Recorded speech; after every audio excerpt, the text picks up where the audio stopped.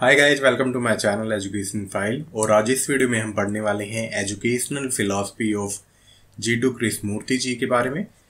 तो ये particular topic है बीएड में और एमएड में। बीएड में सभी के नहीं है कई कई यूनिवर्सिटीज़ में है तो जिसके भी ये टॉपिक है, आप देख सकते हो ये वीडियो तो जल्दी से देखते हैं, क्या कहा था कृष्णमूर्ति जी ने एजुकेशन के बारे में या शिक्षा के बारे में?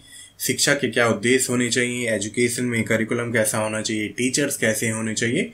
और ओवरऑल पर्पस क्या होना चाहिए हमारी शिक्षा का या एजुकेशन का, ठीक है? तो आगे बढ़ने से पहले अगर वीडियो अच्छा लगे तो प्लीज़ लाइक करना और चैनल को सब्सक्राइब करना। चलो तो कृष्णमूर्ति जी को जाना जाता है एक फिलोसफर के तौर पे, एक दार्शनिक के तौर पे, एक मॉडर्न इंडियन थिंकर के तौर पे। ये एक राइटर भी थे, इन्होंने कई किताबें लिखी हैं और एक स्पिरिचुअल ऑरेटर थे और स्पीकर थे, ठीक है? इनका जन्म हुआ था इलेवेंथ में 1895 को। और इनका देहांत हुआ था 17 फरवरी 1986 को। इनके पिताजी का नाम था नारायणिया माता जी का नाम था संजीवम्मा एंड ब्रदर का नाम था नित्यानंदा या नित्य कहते थे।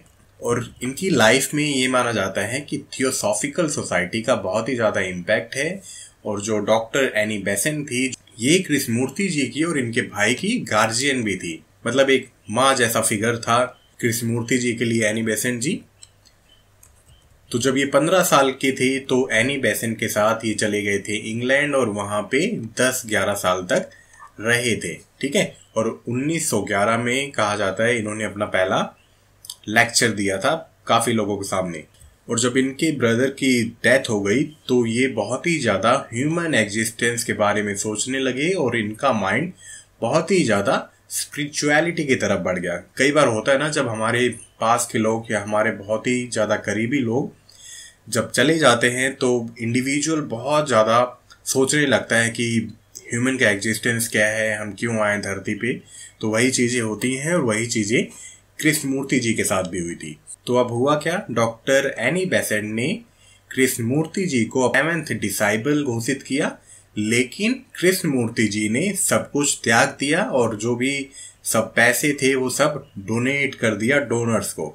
मतलब ये थियोसॉफिकल सोसाइटी के लीडर नहीं बने। सब कुछ इन्होंने त्याग के, इन्होंने कहा कि मैं फ्री रहना चाहता हूँ किसी भी रिलीजन से ऊपर और किसी भी बाउंडेशन से दूर। इसलिए इन्होंने सभी पद त्याग दिए और बिल्कुल फ्री रहने रहने लगे, अलग रहने लगे। ठीक है? ये क्या कहते थे? ये कहते थे कि टेक्निकल एजुकेशन के साथ शिक्षा ऐसी होनी चाहिए कि बच्चे की mental growth physical growth social growth spiritual growth हो और बच्चा अपने आप को या कोई इंडिविजुअल अपने आप को पहचान सके।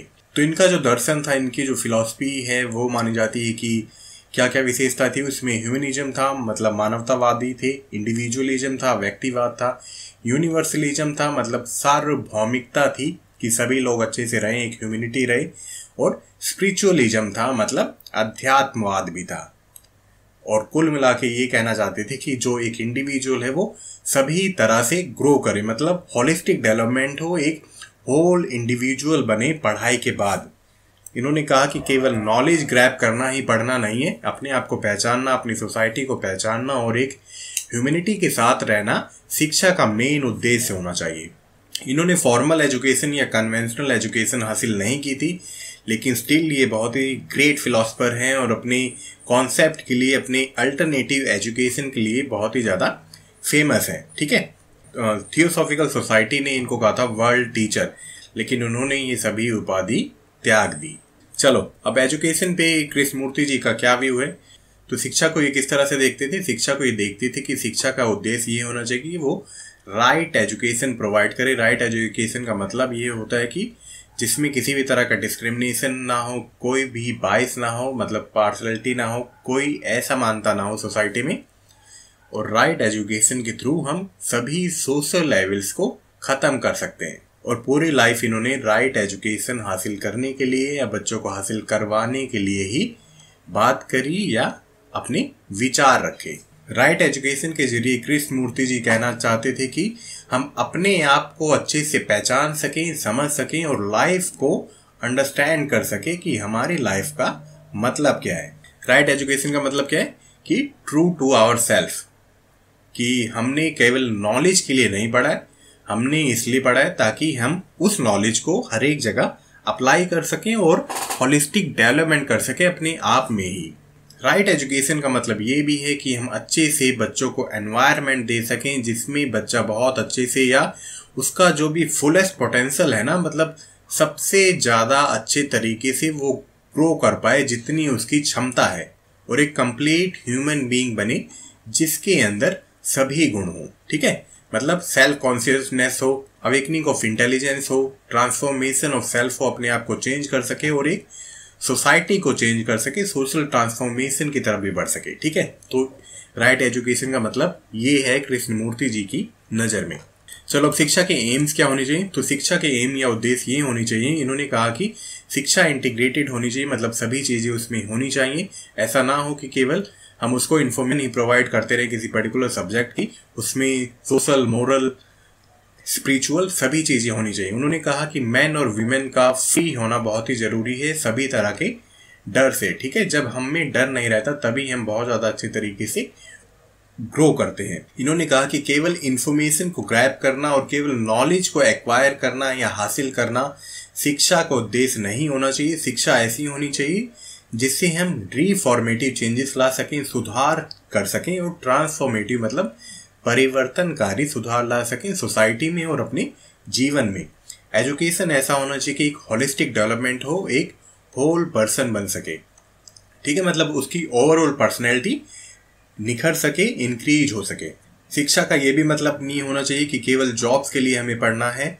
शिक्षा का मतलब ये होना चाहिए कि हम लाइफ का अच्छे से मीनिंग तला सकें और वो मीनिंग कब आएगा? जब हम बिल्कुल डरेंगे नहीं और हमें जो चाहिए वो हासिल करेंगे थ्रू प्रॉपर और राइट एजुकेशन ठीक है? और लर्निंग क्या होती है? लाइफ लॉन्ग होती है। पूरी लाइफ हम कुछ ना कुछ अच्छा सीखते रहें।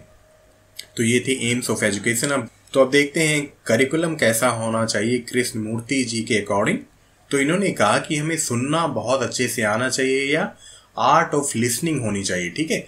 जब हम अच्छे से किसी को सुनते हैं तो हम सामने वाले पर्सन से बहुत ही ज़्यादा अच्छे तरीके से कनेक्ट हो सकते हैं, ठीक है? इन्होंने कहा कि शिक्षा या करिकुलम ऐसा होना चाहिए जो कम्प्रेहेंसिव हो, व्यापक हो, जो ऑल अराउंड डेवलपमेंट करे बच्चों की। करिकुलम ऐसा होना चाहिए कि जो भी बच्चों के नेचुरल इंटरेस्ट है ना, उनको बढ़ावा दे सके, उनको और अच्छे से डेवलप कर सके और उनको जो भी उनके एम है, वहाँ तक पहुँचाने में उनकी मदद कर सके। करिकुलम ऐसा होना चाहिए जिससे कि बच्चे फियरलेस बन सकें और उनमें एक क्रिटिकल थिंकिंग आए मतलब गहन सोच करने की क्षमता आए प्रॉब्लम सोल्विंग एटीट्यूड आए। इन्होंने कहा कि अगर नॉलेज में या ज्ञान में लव नहीं है प्रेम नहीं है, स्नेह नहीं है, वो बहुत ही ज़्यादा हार्मफुल हो सकता है। इसलिए इन्होंने कहा कि जो भी पाठ्यक्रम है करिकुलम है, उसमें ह्यूमैनिटी और गुडनेस के बारे में सिखाना, एक अच्छा व्यवहार करने के बारे में सिखाना, आपस में एक हेल्पिंग नेचर होना बहुत ही ज़्यादा ज़रूरी है। चलो देन आते हैं रोल ऑफ़ टीचर्स तो टीचर का क्या रोल होना चाहिए? इन्होंने कहा कि टीचर खुद भी फ्री होना चाहिए। सभी तरह के ट्रेडिशनल पैटर्न से, जो भी पर्सनैलिटीज हैं बायस हैं, जो भी प्री जुडाइस हैं उन सभी चीज़ों से एक अध्यापक का फ्री होना बहुत ही ज़्यादा ज़रूरी है। जब टीचर फ्री होगा, तभी वो अपने बच्चों को और ज़्यादा अच्छी तरीके से पढ़ा पाएगा। टीचर को बच्चों की हेल्प करनी होगी ताकि बच्चे अपने आप को पहचान सके कि उनकी रियल इंटरेस्ट क्या है लाइफ में, वो करना क्या चाहते हैं अंदर से। टीचर की ड्यूटी बनती है कि टीचर हमेशा राइट एजुकेशन प्रोवाइड करे इन द सेंस कि बच्चे अपने आप को पहचाने, दूसरों को पहचाने और सोसाइटी को आगे ले जाएँ। टीचर की ये भी ड्यूटी बनती है कि किसी भी तरह की पार्शलिटी ना हो और सभी बच्चों को इक्वली इम्पोर्टेंस मिले या इक्वलिटी का सिद्धांत हो, ठीक है?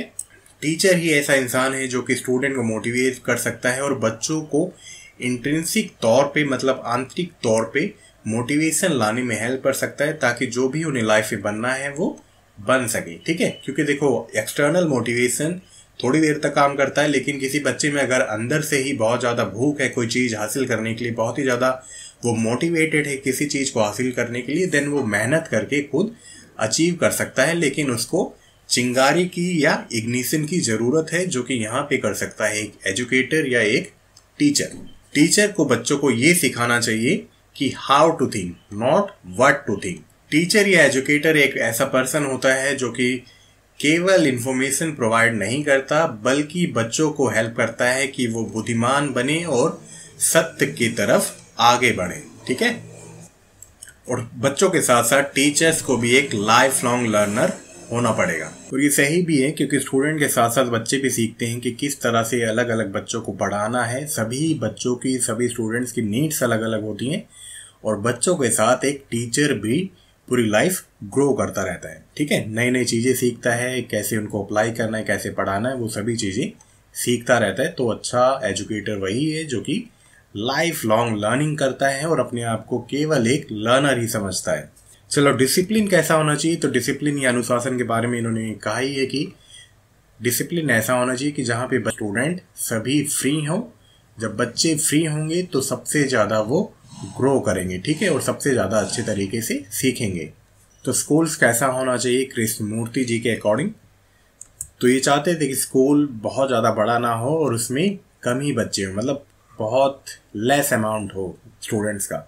स्कूल का एनवायरनमेंट हमेशा ह्यूमिनिटी वाला होना चाहिए एक प्यार होना चाहिए मतलब स्नेह होना चाहिए और आनंद या जॉय स्कूल में होना बहुत ही ज़्यादा ज़रूरी है। मतलब बच्चे घर जैसा समझे। स्कूल ऐसा होना चाहिए जहाँ पे बच्चे समझें कि वो उनका घर ही है, क्योंकि बच्चे सबसे ज़्यादा फेयरलेस अपने घर पे ही होते हैं और सबसे ज़्यादा ग्रो भी अपने घर पे करते हैं। तो स्कूल को भी ऐसा होना चाहिए फेयरलेस एनवायरनमेंट होना चाहिए जहाँ पे बच्चे अच्छे से ग्रो कर पाए। स्कूल को हमेशा ये सिखाना चाहिए कि लर्निंग कैसे लर्न करनी है। मतलब स्कूल में ये सिखाना चाहिए कि लर्निंग टू लर्न कि सीखना है लेकिन कैसे सीखना है, बहुत अच्छे तरीके से वो सभी चीज़ें स्कूल में बताई जानी चाहिए ऐसी प्रैक्टिस को प्रमोट करना चाहिए, ठीक है? देखो, सीखते तो हैं, लेकिन सीखना अगर आ जाए कि किस तरह से सीखना है तो वो बहुत ही ज़्यादा ईजी हो जाता है फिर। स्कूल का हमेशा फोकस होना चाहिए कि होलिस्टिक डेवलपमेंट हो। होलिस्टिक का मतलब होता है कि ऑल अराउंड डेवलपमेंट हो, उसकी physical mental social spiritual development हो। ठीक है? चलो, जब इन्होंने थियोसॉफिकल सोसाइटी का जो पद था वो छोड़ा था, तब इन्होंने कहा था कि I want to free man from chains and fear कि मैं अपनी बंदिशों से और अपने डर से दूर होना चाहता हूँ। I am not finding a new religion मैं कोई नया रिलीजन फाइंड नहीं कर रहा हूँ। My only purpose is to free man completely कि मेरा केवल एक उद्देश्य है कि मैं एक फ्री इंसान की तरह या स्वतंत्र इंसान की तरह घूमना चाहता हूँ, अपना पूरा जीवन व्यतीत करना चाहता हूँ। ठीक है? और ये इनका कोट है एक, कि truth is a pathless land तो इसी के साथ हमने एजुकेशनल फिलोसफी पढ़ ली जिडू कृष्ण मूर्ति जी की।